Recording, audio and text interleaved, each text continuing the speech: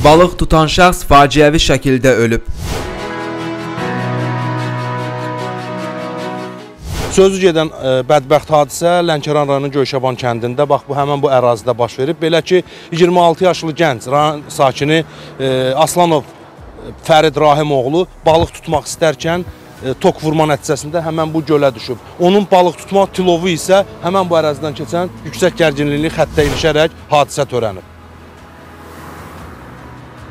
Meyit hüquq mühafizə orqanları əməkdaşları tərəfindən Lənkəran şəhər regional məhkəmə tibbi ekspertiza və patoloji anatomiya şöbəsinə göndərilərək müayinə olunub və aidiyyatı üzrə təhvil verilib. Faktla bağlı rayon prokurorluğunda araşdırmalar aparılır.